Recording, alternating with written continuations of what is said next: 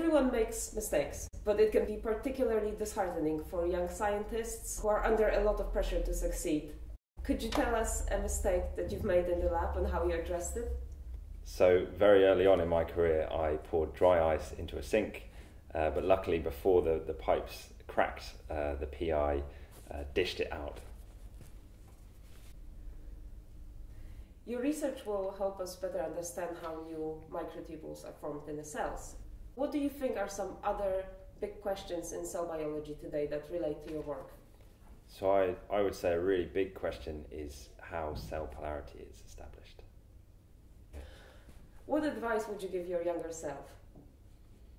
So, definitely don't think that you need a Nature Cell or Science paper.